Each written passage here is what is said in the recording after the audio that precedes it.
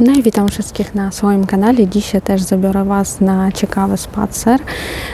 Pokażę Wam drugie swoje ulubione miejsce w Krakowie. Pierwsze to oczywiście jest Wawel i taras widokowy na Wawelu.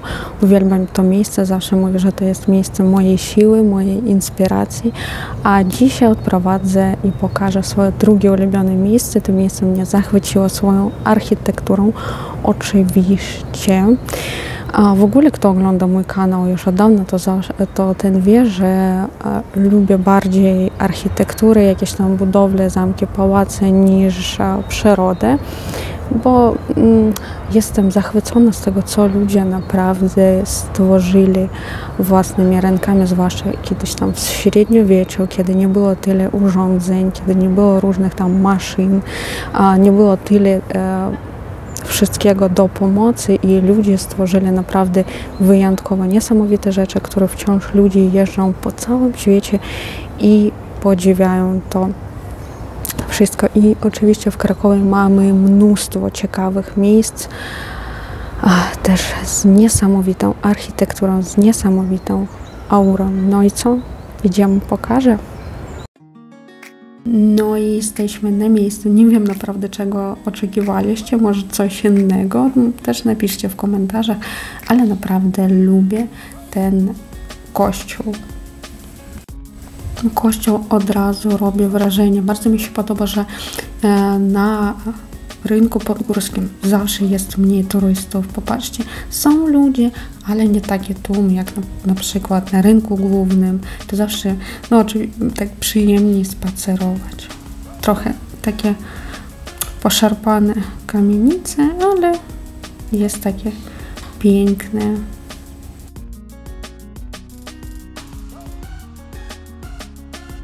No i pokażę, co najbardziej mi się podoba. Niestety muszę tak stać, aby nie świeciło słońce, więc trochę tak jakby z, z boku. No i powiedzcie mi, jak tym wszystkim można się nie zachwycać? Ja po prostu nawet nie wiem.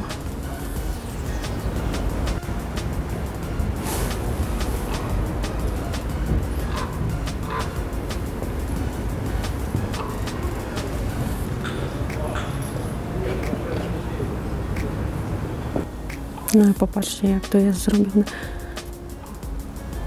Tak mi się wydaje, że po raz pierwszy zobaczyłam. No może po prostu zapomniałam, że już widziałam wcześniej takie.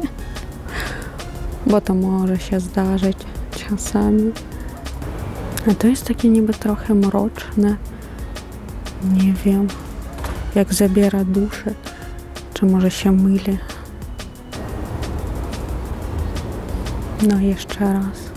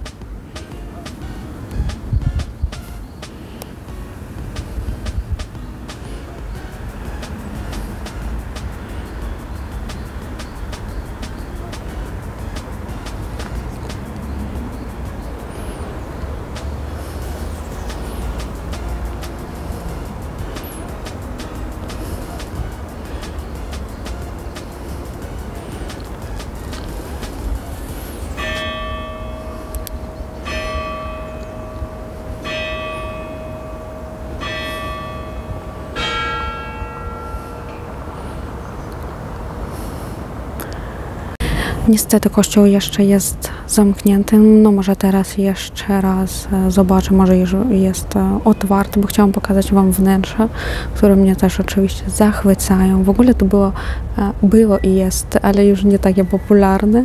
Nie tak często tu spacerujemy z mężem, jak to było, kiedy dopiero przeprowadziliśmy się, bo bez dziecka można było no, trochę dłużej spacerować na piechotę, bo on nie chce, a już nie chce, chce mi się jak zawsze pić siku i tak dalej. Więc, a tak zawsze spacerowaliśmy albo przyjeżdżaliśmy na Korony, na Podgórze i od tego kościoła e, w centrum miasta na rynek główny albo z rynku aż do tego kościoła.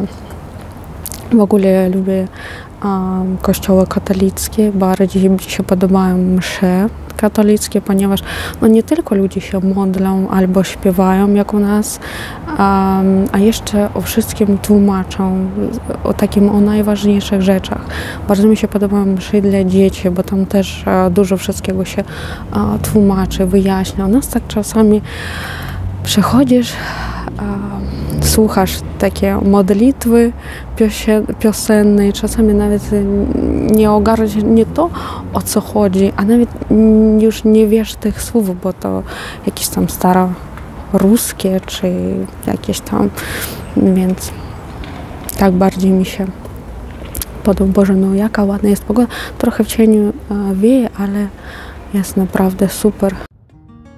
I obok kościoła znajduje się park Bednarskiego. No nie dość często to spacerujemy, ale też lubimy. Jak już powiedziałam w poprzednim odcinku, Polska to kraj parków i zieleni. Niestety wybrałam takie, taką porę roku bez zieleni. No następnym razem odprowadzę, kiedy będzie no, już ciepło wiosną.